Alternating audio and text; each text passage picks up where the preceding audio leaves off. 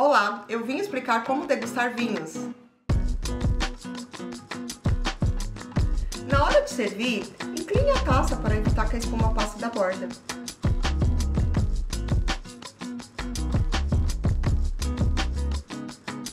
Aqui nós podemos observar a perlage, que são essas efervescências.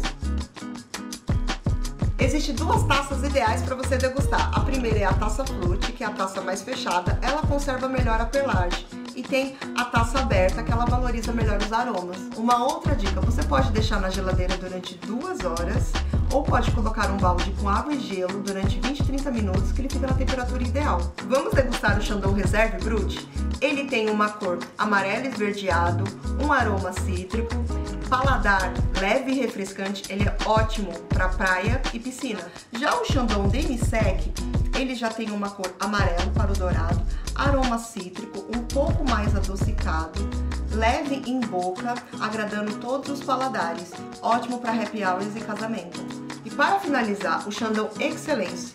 Essa linha já é uma linha mais elaborada, então você já vai verificar uma, uns aromas de frutas vermelhas, uma acidez mais vibrante e um final bem persistente.